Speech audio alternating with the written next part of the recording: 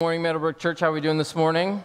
It's good to see you. Glad that you're with us. And for those of you who are joining us online, we're glad that you're with us as well. So, before Becky and I moved here to Milwaukee, we lived in Atlanta and we served a church there for about nine years. It was a non denominational church, which in many ways was very similar to Meadowbrook Church. And there was a stretch of time, probably about half the time we served that church, where it was a really hard season of ministry. Every time I turned around, it was like dysfunction, conflict, on the verge of a church split. It was really, really difficult. And because we were a non denominational church, it meant that we didn't have any natural partner churches or sister churches or other churches in our network who were kind of working alongside us. It, it felt like we were on an island. It felt like we were kind of doing this all by ourselves. There was no higher governance, no higher structure, no superintendents that were going to come in and help us, and it felt like we were alone. And in that season, what made that loneliness even that much more palpable is whenever I would get online, get on Facebook or Instagram, I would see other pastor friends of mine sharing pictures of them with pastors in their networks, at their network meetings, at their gatherings, at their conferences and retreats. And I remember thinking, like, I want that so bad. Like, I want to be with other churches in a relationship where it's like we are doing this together. And so before we moved here, it was about three or four years before we moved, I just started praying. I was like, God, what does that look like for me? Like, how is that going to happen? Thinking that we might even have stayed in Atlanta for a really long time and just found myself thinking, like, I want that in the worst way. So then, 2016, we moved here to Milwaukee. And after we moved here, I started to learn about the Brook family of churches, which, if, if, you're not familiar with that term or what that is, there's a lot of churches in the Milwaukee area that have the word Brook in their name. We're Meadowbrook, and there's Southbrook and Elmbrook and Eastbrook and Northbrook.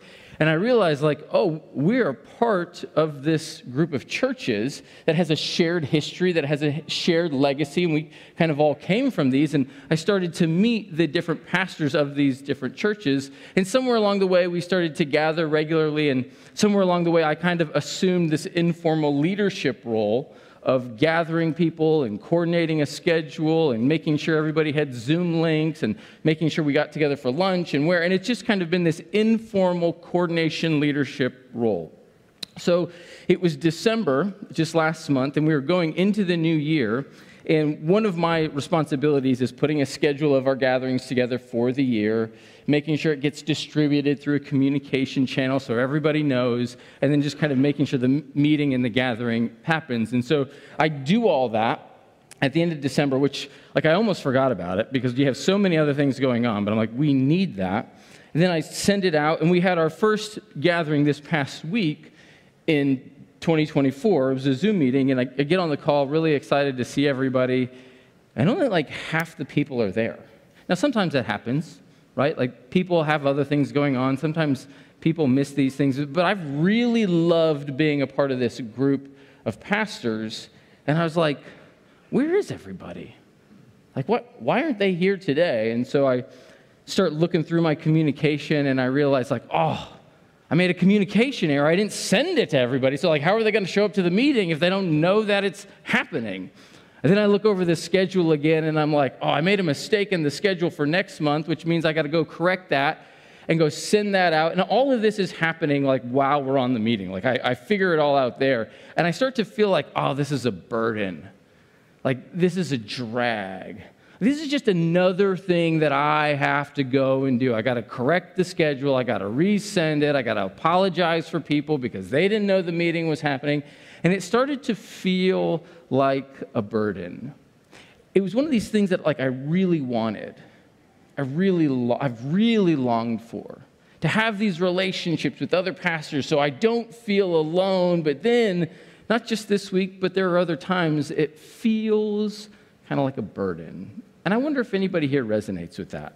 Meaning, you've had this desire for something. You're like, oh, I wish that I could experience that. Oh, I'd long to be able to have that. And then somewhere along the way, you actually get it. Like it actually comes into your life and you're getting to realize the thing you've longed for, but then after a while, it feels like a drudge.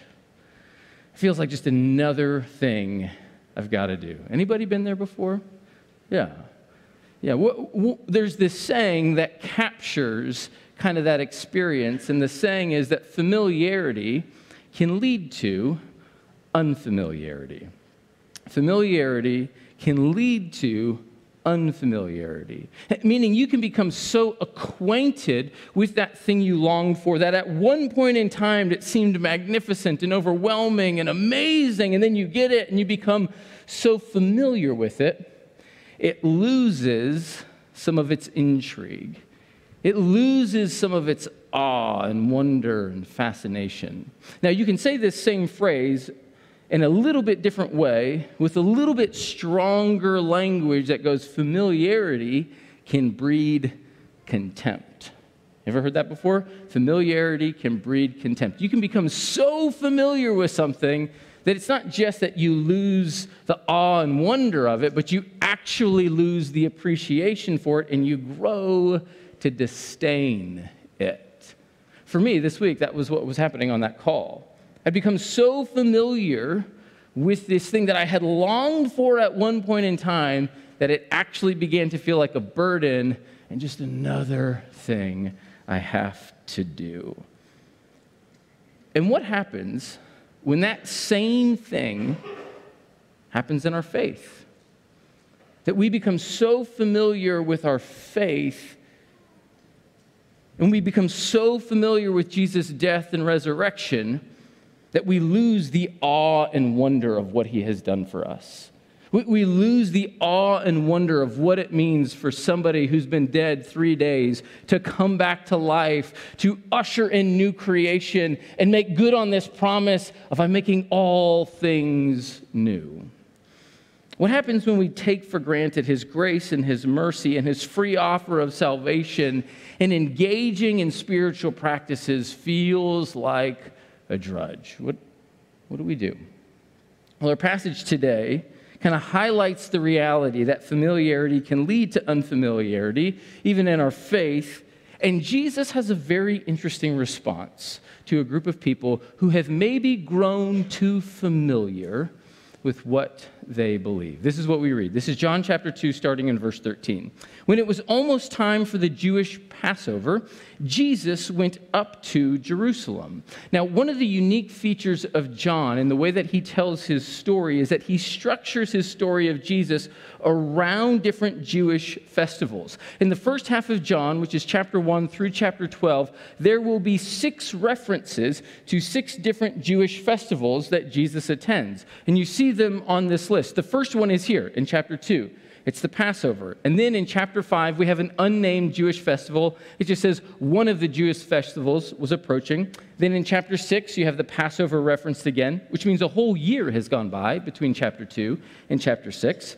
And you have the Feast of Tabernacles in chapter 7, the Feast of Dedications in chapter 10. And then again, the Passover is referenced again in chapter 11 and chapter 12. It's the same Passover. Now, what these Jewish festivals did was they brought Jews from all over Israel to Jerusalem to celebrate these festivals. They brought Jews, including Jesus, from everywhere to come to Jerusalem. And all but one of these references, there's a specific moment where Jesus is in the temple at these festivals, engaging with people, healing people, teaching the crowds. Anytime Jesus goes to Jerusalem for a festival, he goes to the temple. So, what John is doing with his story about Jesus in structuring it this way and continually putting Jesus in the temple at these festivals is he's highlighting the prominence of the temple in Jewish life. Because for a first century Jew, what the temple did for them is it retold their story. It told the story about creation, it told the story about their rescue and their redemption from Egypt. It told the story of God's desire to dwell among his people. It told the story of how they were unique, distinct, and special because the presence of God was with them in a way that it wasn't with other nations. This temple was wildly significant. In, in some ways, you could think of it like this the temple for first century Israel did the same thing that Washington, D.C., and the monuments in D.C. do for us. Right? If you were to go to Washington, D.C., you could go see the Jefferson Memorial, the Lincoln Memorial, the Vietnam Memorial. You go to the Capitol, the Washington Memorial, all of the different museums. And what do they do? They tell the story of our country. They tell the story of who we are. So they have this identity component to them. The temple for Israel works in the exact same way. But one of the unique differences of the temple is that it wasn't just a memorial building, it had spiritual weight to it. It had spiritual significance. It was a sacred space because it was believed that the presence of God lived in that temple. The presence of God was there in the center of it. So, therefore, it was loaded with rules and regulations and restrictions of how you operate, how you behave, who can go in the temple, who can go in different parts of the temple, what clothes you had to wear, how you had to prepare yourself before you go in. The temple was this wildly significant place, not just for the story that it told, but the sacredness that it held because it was believed that God dwelt there. And in this story, where Jesus goes to Jerusalem for a Passover, the very first place that John puts Jesus in this moment is in the temple. We read in verse 14, in the temple courts. Now, this picture here is intended to be a model of what the temple looked like in first century Jewish world. And you'll notice that there are two different courtyards. It says here in verse 14 that Jesus is in the temple courts. There's two courtyards. You have those yellow circles and ovals. That's known as the outer courtyard, the courtyard of the Gentiles. And then that purple star is the inner courtyard. So in this story, it's most likely that Jesus is in the outer courtyard, that, that place where there's the yellow circles. He's there, and this is what he finds as he goes to Jerusalem for the Passover and enters the temple. Verse 14. In the temple courts, he found people selling cattle, sheep and doves, and others sitting at tables exchanging money. So he made a whip out of cords and drove all from the temple both sheep and cattle. He scattered the coins of the money changers and overturned the tables. To those who sold doves, he says, Get these out of here. Stop turning my father's house into a market. So Jesus enters the temple, and what he sees looks more like a livestock auction than it does a house of worship. There's cattle everywhere. It looks more like somebody's trying to sell livestock than it does an actual house of worship. And Jesus creates quite a scene. Like he's opening up the gates, he's making some sort of makeshift whip, he's smacking cattle in the backside, give them a good kick, rushing them out. He's turning over tables, which means coins and change are flying everywhere. He says, Get this out of here. Stop turning my father's house into a marketplace. It would be like if you're a student and you're sitting in class and another student walks in late and they walk right up to the teacher's desk and all the papers, books, and things are on the desk and they just push it off. And then they go to the board and the, whatever the teacher's doing, they just erase it and write something new. Now, if you're a student in a certain class, you'd be like, that would be the most amazing day of school, right?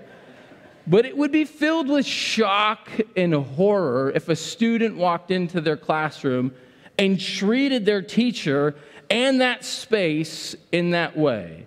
It would be a jaw dropping moment. This is one of those moments for Jesus. He is do some, doing something that is catching everybody's attention, and they are filled with shock and horror by what he is doing. Now, when this passage is read, there are two things that are often assumed that aren't necessarily in the text. Meaning, the first one is the motivation of the temple officials. Sometimes people assume what's going on here is that the temple officials are trying to take advantage of people who are coming for the festival. They are selling animals to try and make a profit, which means they're just greedy and money hungry. They don't really care about the people. They're just trying to line their pockets. But selling animals in Jerusalem around festival time wasn't all that uncommon because it was more convenient for travelers who are traveling from all over to buy a sacrifice in Jerusalem than to carry animals with them as they travel. So that wasn't all that uncommon.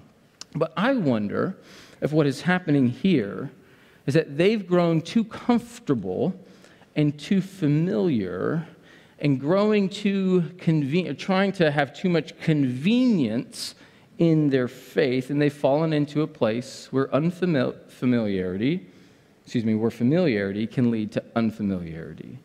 They've grown too comfortable because it's thought that maybe the selling of animals was a normal practice and actually okay, not outside the bounds of what first century Jews could do, but it should have taken place outside the temple.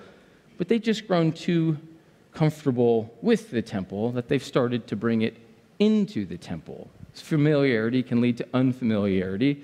Familiarity can breed contempt. Now, if there's anything that I need to be aware of in my faith, is growing too comfortable and too casual with the work that I do.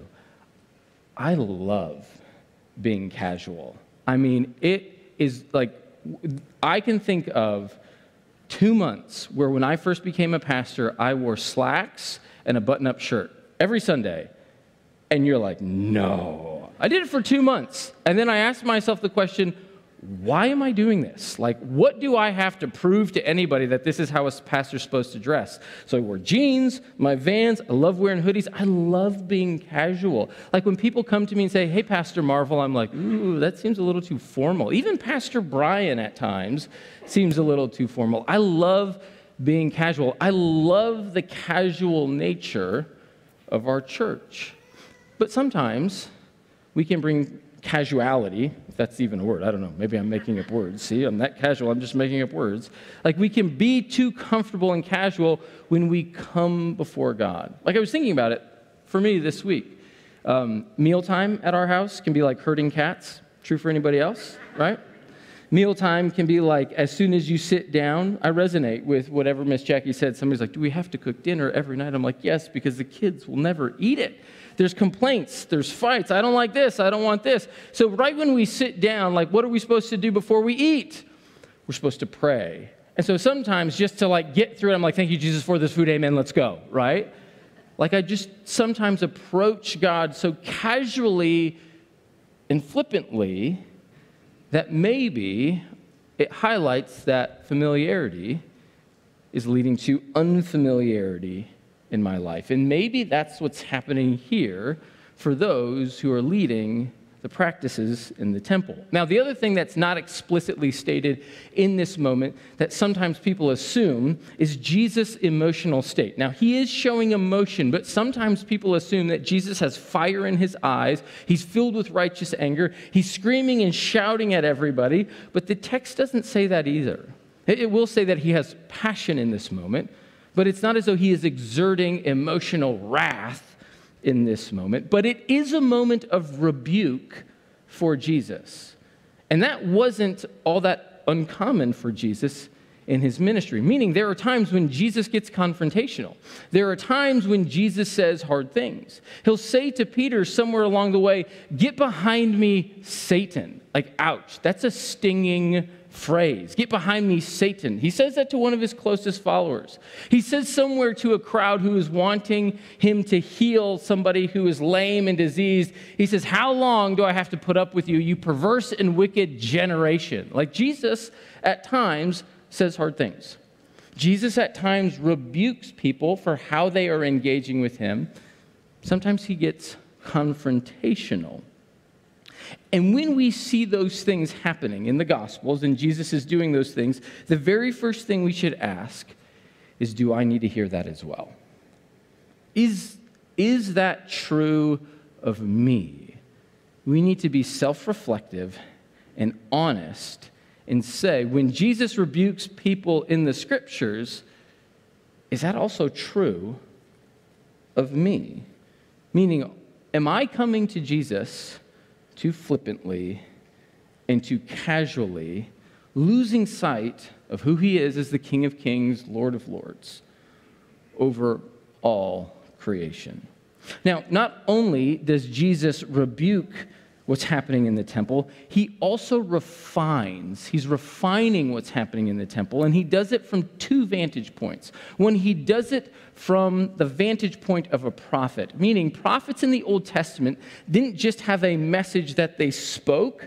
They also embodied the message that they spoke. There were times they did prophetic acts that communicated something more vividly than anything they could ever say verbally. So for uh, Ezekiel, it says in Ezekiel 4, I think, he was told by God to lie on his left side for 390 days to demonstrate to the Israelites that judgment is coming for 390 years of disobedience. He had to lay on his left side for over a year to demonstrate to the people that judgment was coming. After those 390 days, he had to flip to his right side for 40 days and lay on his side for another 40 days. During that time, he could cook food, but he was told to cook food over human excrement. And he said, That's really gross. And so God said, Okay, let it be the dung of a cow instead. That was supposed to be the fuel he used to cook his food all to send a message to the people of Israel that judgment is coming. No wonder when God called prophets to be a prophet, they're like, mm no, thank you. I would rather not, right? Isaiah had to walk around stripped, barefoot, and naked out in public, again, to capture that judgment is coming. So prophets didn't just speak a message, they embodied a message. And so Jesus here, in part, is embodying a message, but he's also coming fulfilling a prophetic word from Malachi 3. This is what we read in Malachi 3. It says, I will send my messenger who will prepare the way before me, which is probably a reference to John the Baptist. Then suddenly the Lord you are seeking will come where? To his temple for he will be like a refiner's fire or a launderer's soap. He will sit as a refiner and purifier of silver. He will pure, purify the Levites. And who are they? The people who lead what happens in the temple. And he will refine them like gold and silver.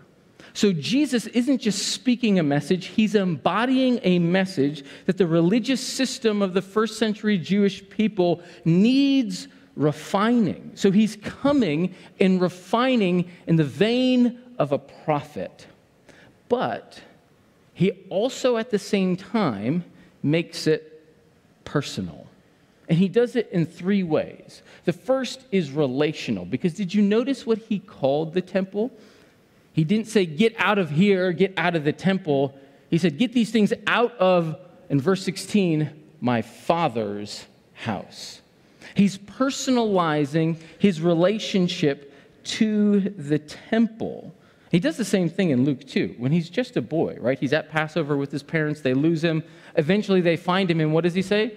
Well, didn't you know that I'd be where? At my father's house.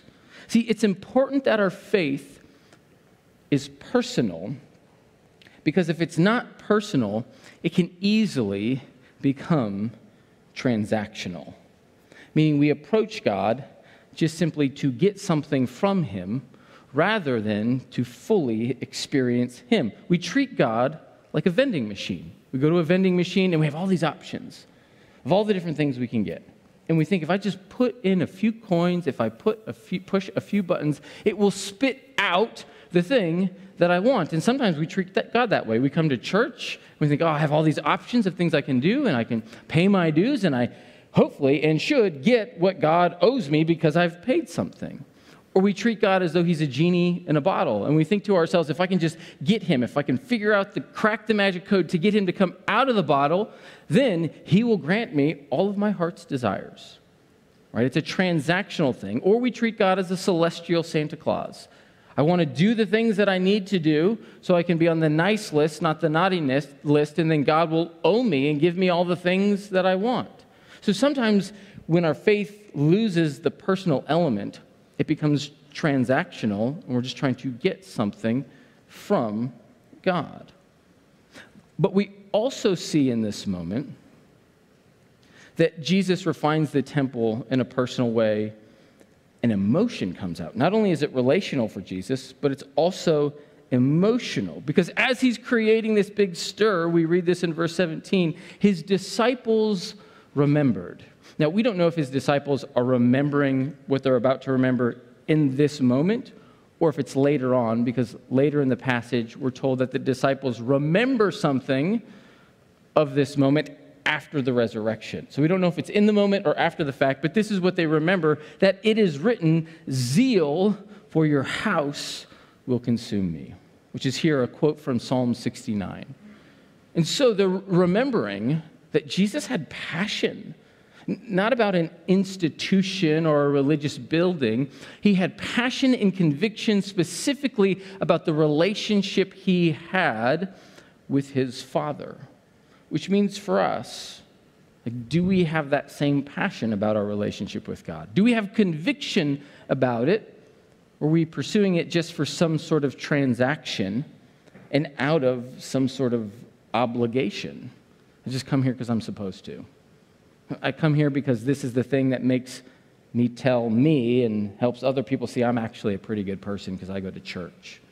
Or I do this because my significant other really wants me to be here, so they drag me along? Do I do it out of obligation? Do I do it just to make my parents happy because they're in town, and so I got to show them that, hey, I'm still following through on the way you raised me?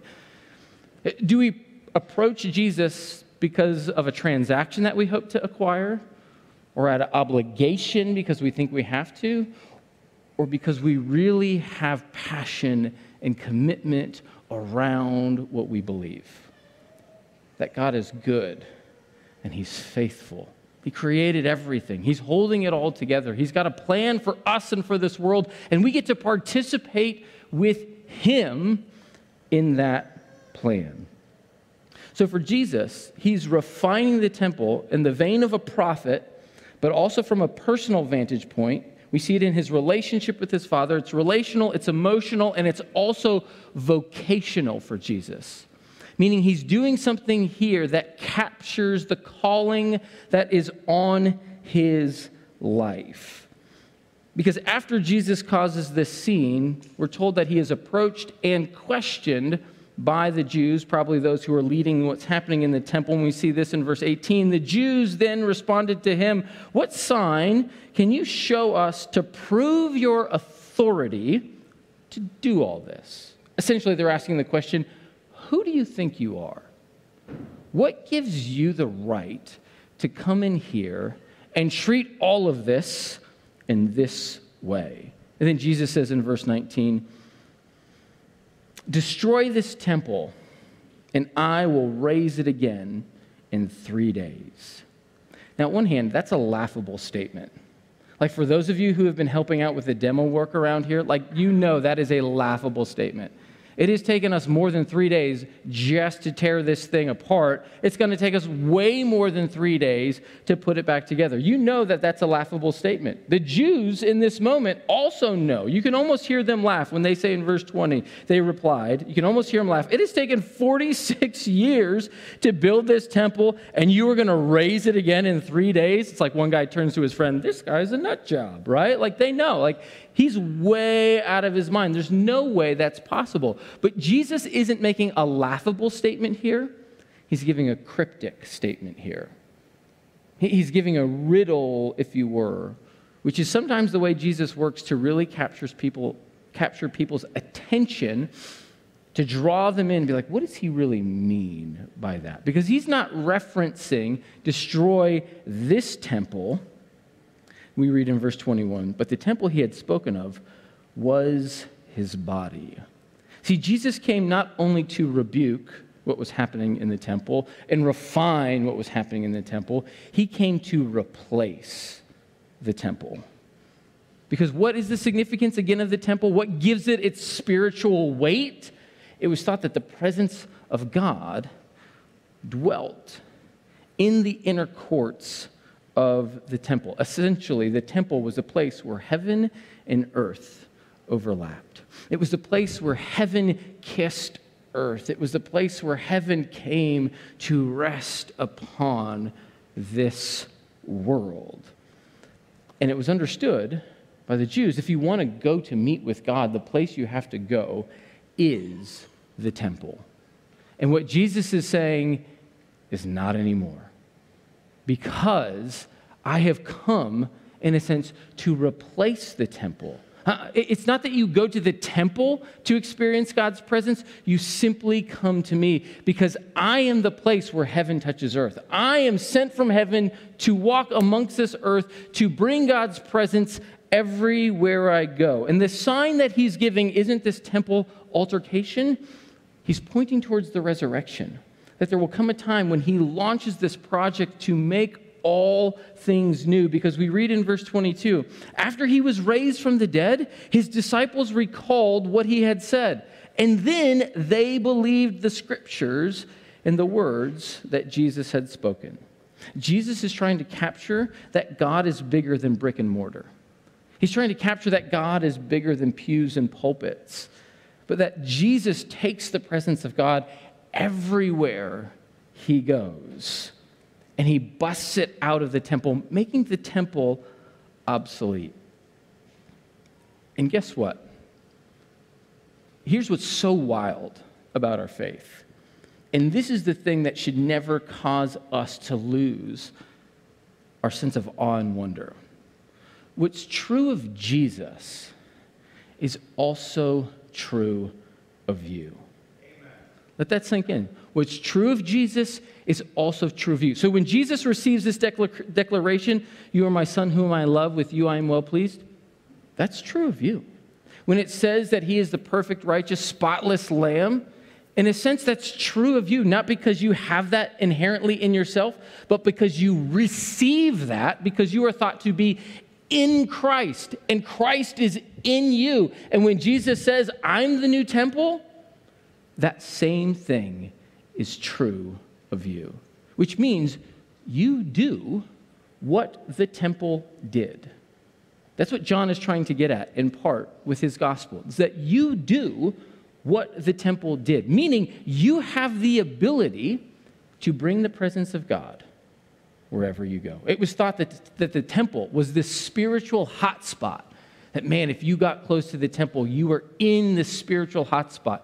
Guess what? You now are a spiritual hotspot because you have the Spirit in you. This is what Paul says in 1 Corinthians 3, 1 Corinthians 6. He'll say it again in Ephesians 2. 1 Peter, it says it as well, that you are a temple of God. They don't do that to say, now be careful for how you behave. It's like, no, no, like you bring the presence of God with you everywhere you go. And what Miss Jackie said this morning is that there are people who need to know that God is with them because they find themselves in moments and places and seasons of life where the circumstances that they are experiencing, they want to stop.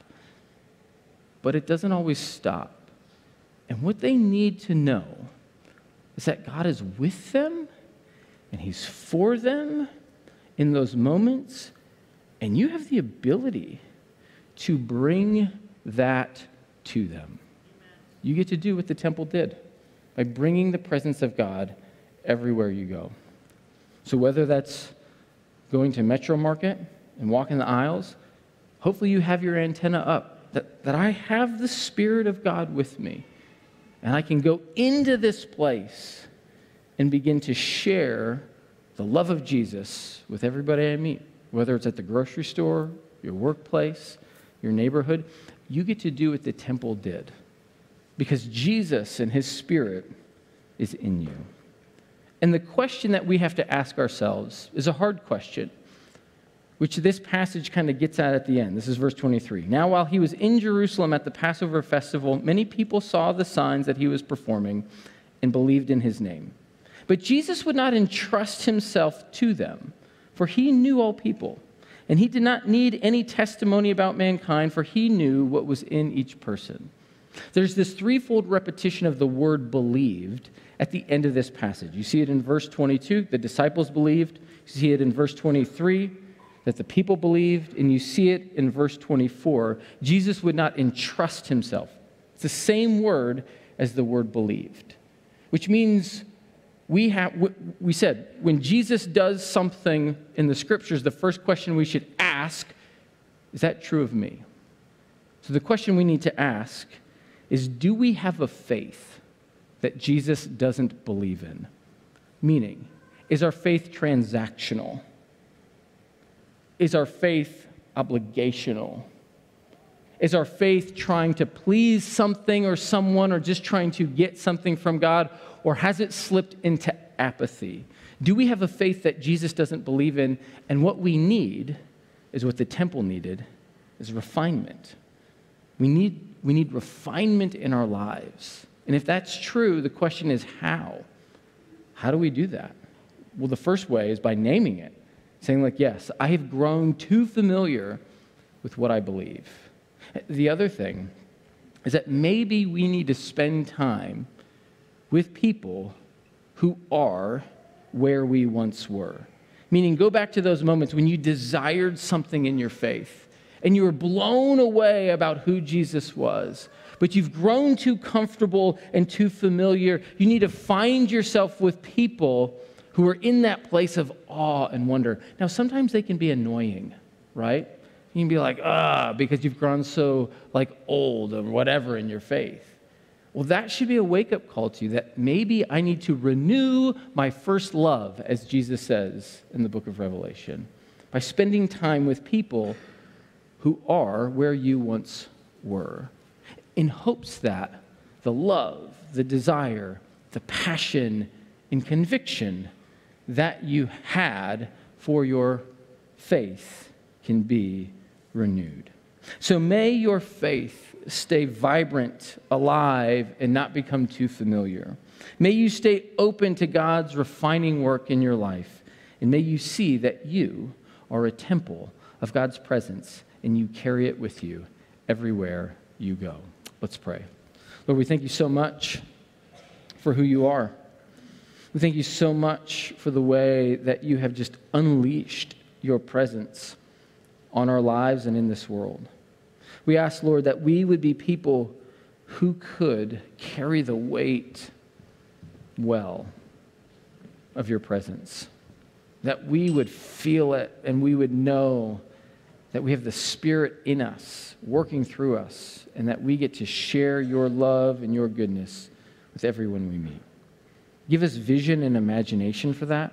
Help us to see and know that you are a good and gracious God. And may we open our lives to be used by you. Amen.